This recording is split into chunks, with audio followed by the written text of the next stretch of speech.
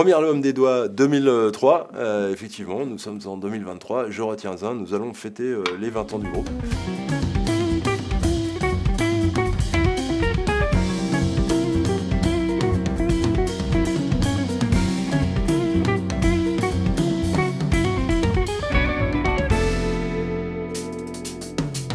On a envie de marquer le coup pour les 20 ans du groupe et de sortir un double album. Un double album avec un volet acoustique et un volet électrique.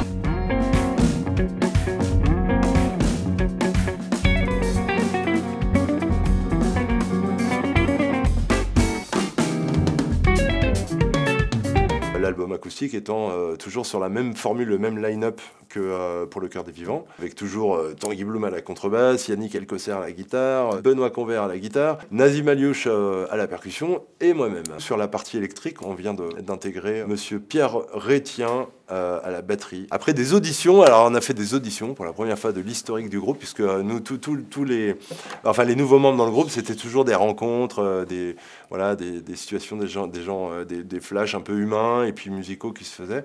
C'est la première fois qu'on auditionne. Ceci dit, on l'a déjà auditionné en fait il y, a, 15 ans en arrière.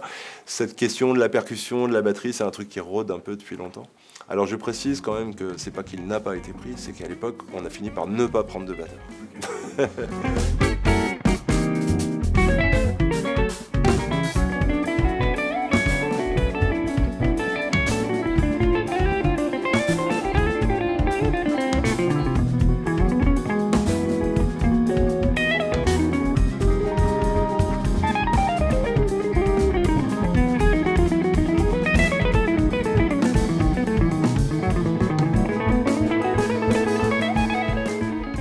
m'appelle Pierre.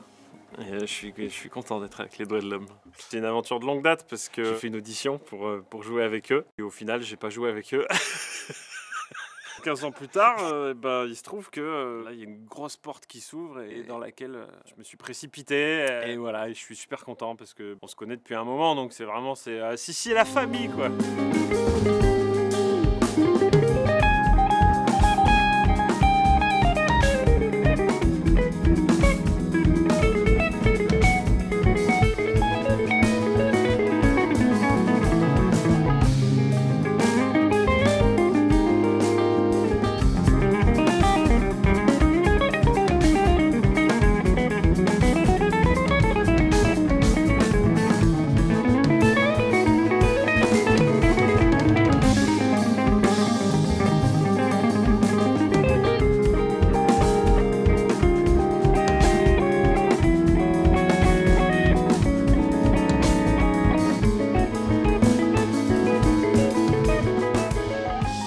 En 2003 à l'initiative d'Olivier Kiktef, un duo de guitare qui est rapidement devenu un trio avec Yannick qui les a rejoints en 2005.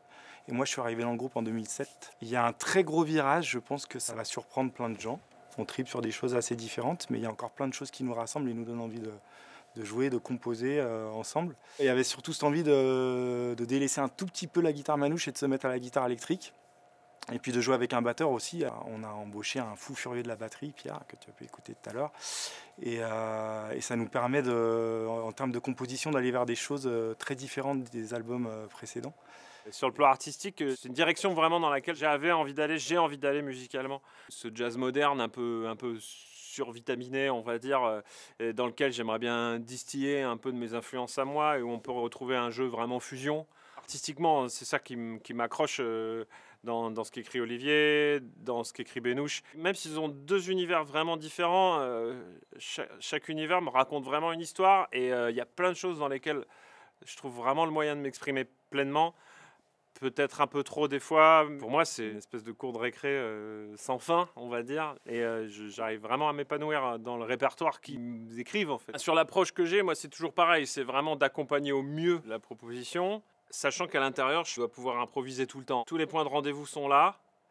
Euh, et moi, à l'intérieur, je, bah, je raconte euh, une histoire un peu différente à chaque fois, mais voilà, c'est le, liant un peu, ce côté un peu jazz et aussi le côté très écrit de la musique, en fait. Mais moi, ça me parle, en fait, une musique qui est très écrite, parce qu'en fait, euh, bah, je, joue dans des groupes de métal. Mais à l'inverse, par exemple, dans différents styles de musique, c'est toujours, pour moi, l'improvisation, c'est extrêmement important. On part du langage du musicien, c'est ce qui permet de communiquer de pouvoir. c'est ce qui permet au public de, quand il vient voir un concert, il voit pas deux fois le même.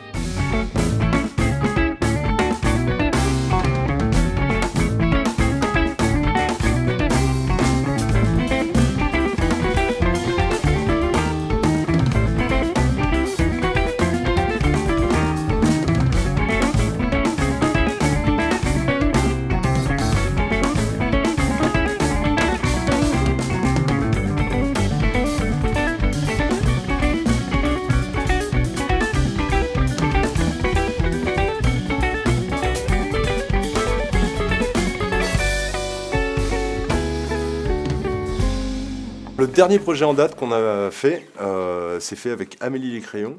J'ai proposé à Amélie de réarranger euh, des morceaux de tout son répertoire. Donc on a tourné ça pendant euh, deux ans et demi, trois ans. Enfin bon, avec les pauses Covid hein, que tout le monde connaît.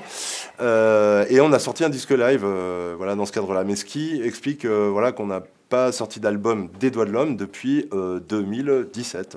Depuis que nous avons fait notre euh, entrée en Ardèche du Nord, euh, on est soutenu euh, encore et toujours par la Mastroc, y compris sur ce disque, ce qui est quand même assez, assez important pour nous parce que on les a quand même trimballés dans tous les sens. Hein.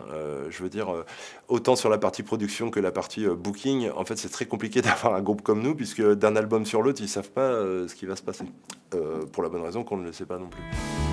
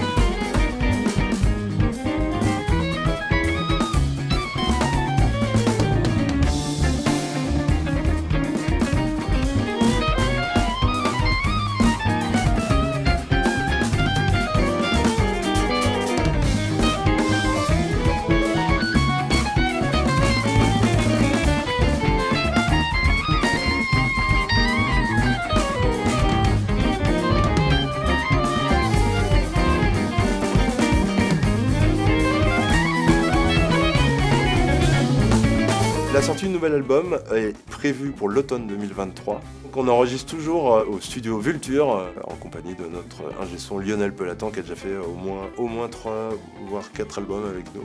C'est un projet assez ambitieux puisqu'il y aura vraiment euh, un volet acoustique un petit peu dans la veine de notre dernier disque avec Nazim, notre percussionniste, et le projet électrique avec une musique vraiment très éloignée du jazz manouche qu'on a pu jouer à une époque, mais qui nous fait vraiment vibrer en ce moment.